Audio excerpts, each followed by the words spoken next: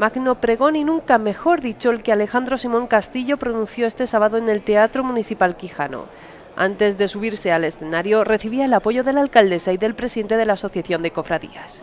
Que yo ya por adelantado quiero felicitar a Alejandro, al pregonero, sobre todo por dar el paso adelante en ser el pregonero de la semana más importante de Ciudad Real, la semana del año más importante por lo que significa de devoción, y fe a, Jesucristo y también por lo que significa pues eh, como semana importante que atrae visitantes y que es un escaparate para Ciudad Real a nivel nacional.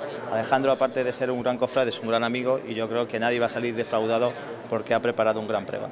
Alejandro dedicó su oración a su familia, a los amigos, a los que no están y a sus hermandades, dejando un hueco especial a su Virgen de la Misericordia con la medalla de la patrona de la ciudad en el pecho, proclamó a los cuatro vientos la monumentalidad de nuestra Semana Santa.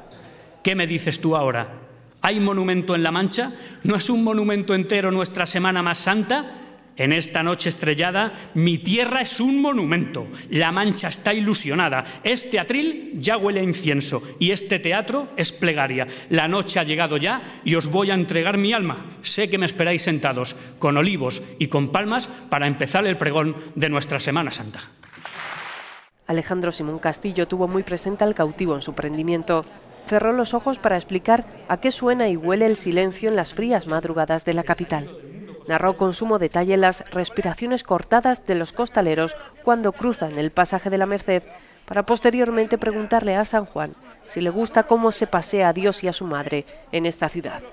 Educáis a vuestros hijos, los padres como cristianos, los bautizáis, los lleváis a catequesis, hacen la comunión y se ponen la túnica de vuestras hermandades, los dejáis a las puertas de Jerusalén.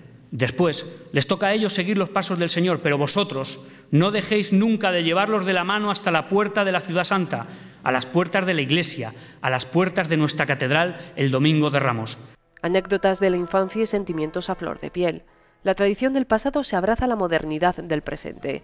Instó a dar un nuevo impulso a la pasionaria de San Pedro.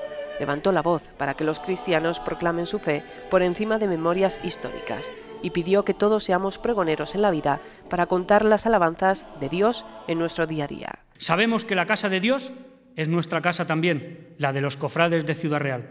Nosotros tenemos que mostrar al resto de los ciudadanos que los cofrades somos cristianos y, a ser posible, ejemplares. El pregón concluyó rememorando el momento de dormir a su niña Cayetana. Las cuatro esquinitas de la cama fueron las cuatro esquinas del atril. En ellas estuvieron su padre, su tío Ramón, nuestro Padre Jesús de la Bondad y la Virgen de la Misericordia. Entre aplausos y lágrimas, Alejandro Simón Castillo recibió de manos de la alcaldesa una reproducción de la escultura del penitente que se encuentra en la Plaza de la Merced, obra de Quirico, y que solo tienen las personas que han tenido el gran honor de ser pregoneros de la Semana de Pasión Ciudad Praleña. La noche concluyó con la actuación de la agrupación musical Mozart de Aldea del Rey.